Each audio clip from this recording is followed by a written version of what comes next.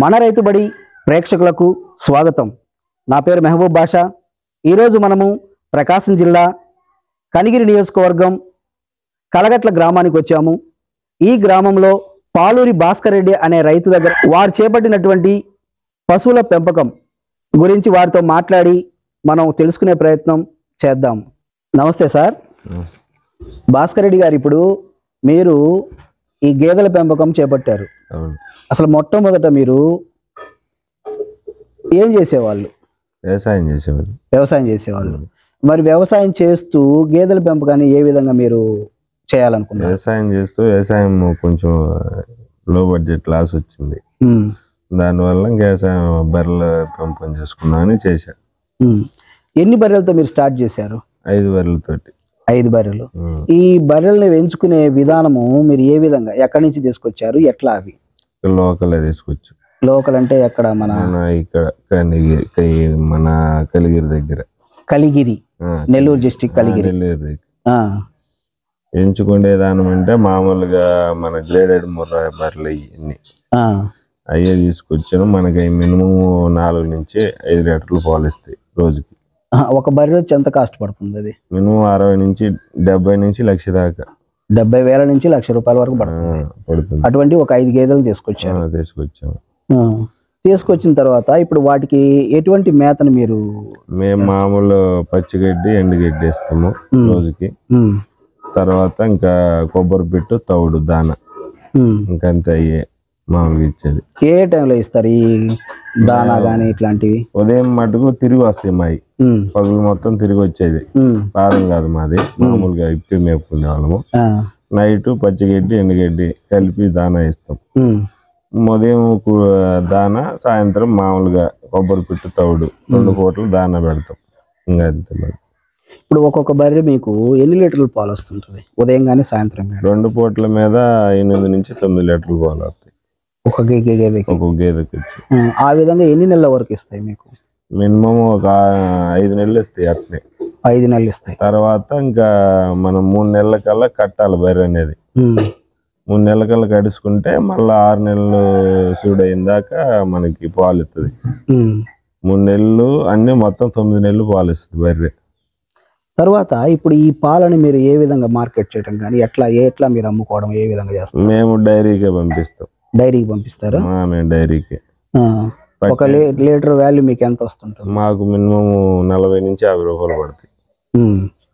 మామూలుగా గిట్టుబాటు అయ్యే ధరలు ఏం కాదు కానీ ముందు జీవన ఆధారం అనేది గడుస్తుంటుంది వాటి వల్ల మనకి ఇబ్బంది లేకుండా.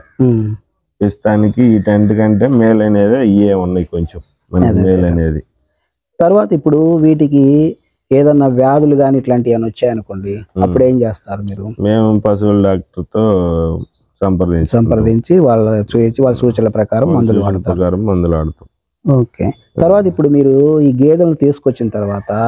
ఎన్ని సంవత్సరాల వరకు? అంటే మీరు ఉంచుకొని వాటిని మళ్ళీ అమ్మటం కానీ ఇట్లా చేస్తారు రెండు ఈతలు మూడు ఈతలు ఉంచుకుంటాం తర్వాత మళ్ళీ మార్చి మళ్ళా కొత్తవి తెచ్చుకుంటాం.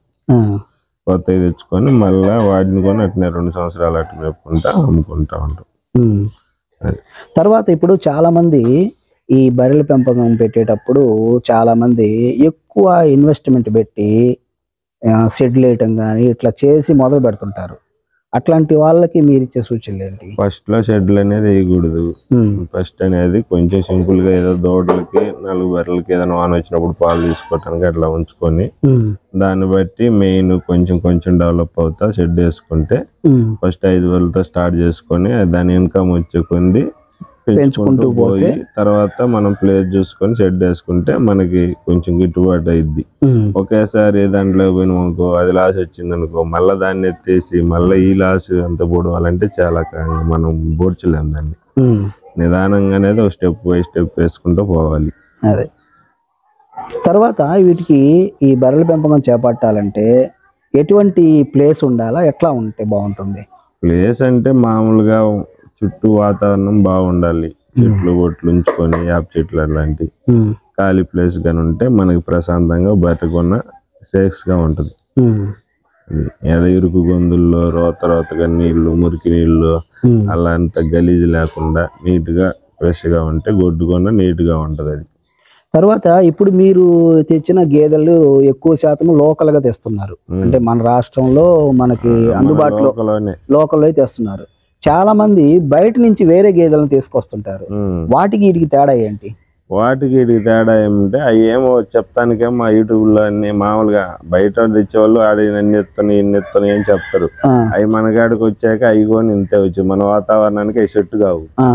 మన వాతావరణానికి సెట్ అయినవి మనం తెచ్చుకోవాలి. ఆ, బయటికి తెచ్చుకున్నాం అనుకో. ఐదు లక్షలు లక్షలు ఇంకా రెండు లక్షలు లక్షన్నర పెట్టి తెచ్చామనుకో అది ఇక్కడికి వచ్చినాక మన వాతావరణానికి ఏమొస్తుంది అది అది చెట్టు కాక మళ్ళీ అది కేవలం మళ్ళీ దాన్ని లాస్ కమ్ముకొని బడ్జెట్ అంతా పోయి మన వాతావరణంలో సెట్ అయినవి అయితే మనకి పర్ఫెక్ట్గా నిల్వ బాగుంటాయి అని ఉమ్. అది మనకి. కానీ చాలా మంది ఏమంటున్నారంటే బయట నుంచి తీసుకొచ్చిన వాటికి గేదెలకి ఎక్కువ పాలు ఇస్తుంది ఎక్కువ బెనిఫిట్ ఉంటది అనేది ఇస్తుందంటే అది ఇక్కడికి సెట్ కావాలి కదా మన వాతావరణానికి. మనం ఎన్నో హర్యానా పోయి తెస్తాము. హర్యానా వాతావరణానికి మన వాతావరణానికి మనకి సెట్ కావాలి కదా అది. మన లోకల్ అక్కడ పోయి రెండు లక్షలు పెట్టి తెచ్చి అది ఐదు లీటర్లు పది లీటర్లు ఇచ్చినా ఒకటే మనం ఇది లక్ష రూపాయలకు ఐదు లీటర్లు ఇచ్చినా ఒకటే. మనం బడ్జెట్ ఆడ రెండు లక్షలు పెడుతున్నాం కదా.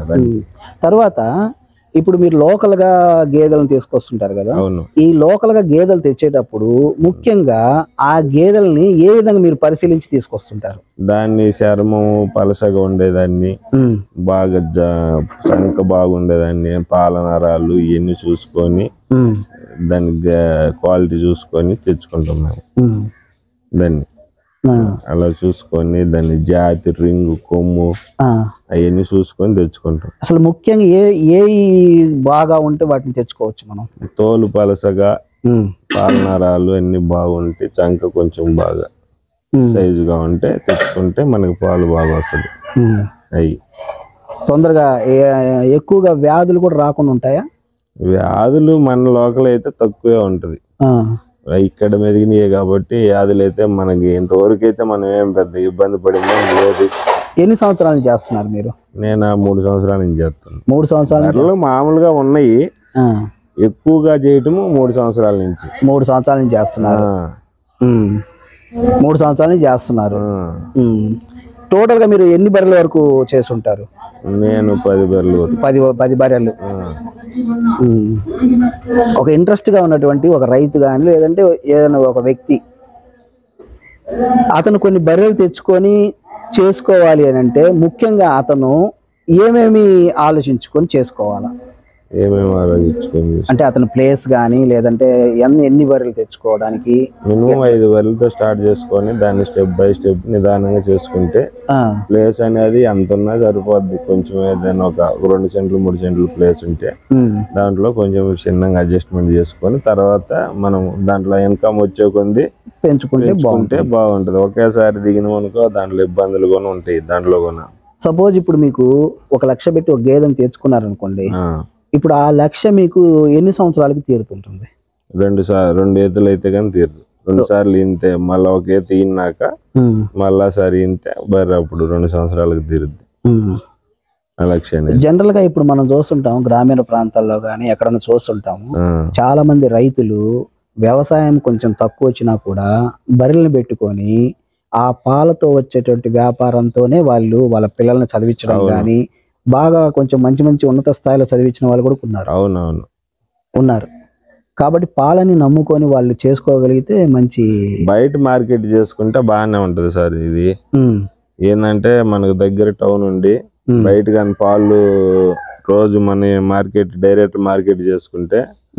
రైతు వారిగా అంటే ఇళ్ళకి మార్కెట్ చేసుకుంటే బాగుంటది ఇది. ఇప్పుడు మీరు కేంద్రానికి లీటర్ వచ్చి ఎంత మాకు మినిమం నలభై నుంచి యాభై పడుతుంది.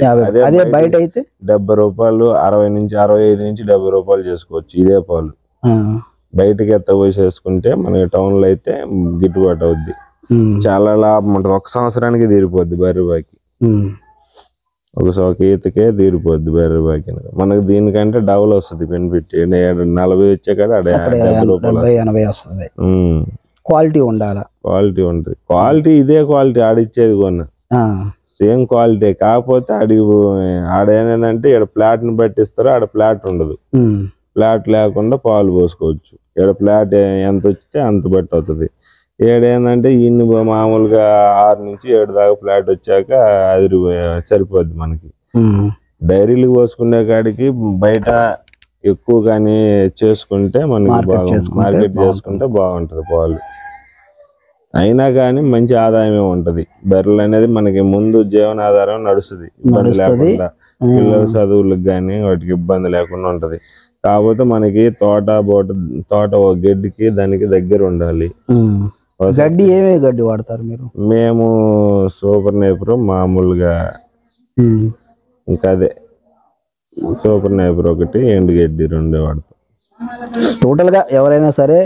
ఒక రైతు ఈ బర్రెల ఫామ్ నాడే గేదెల ఫామ్ని వాళ్ళు చేసుకోవాలంటే మొదట ఒక ఐదు గేదెలతో స్టార్ట్ చేసుకొని నిదానంగా దాన్ని చేసుకుంటూ వెళ్తే బాగుంటది. ఒకేసారి షెడ్ వేసి దీని అంటే లాస్ వచ్చినా చాలా ఇబ్బంది పడతాం మళ్ళా.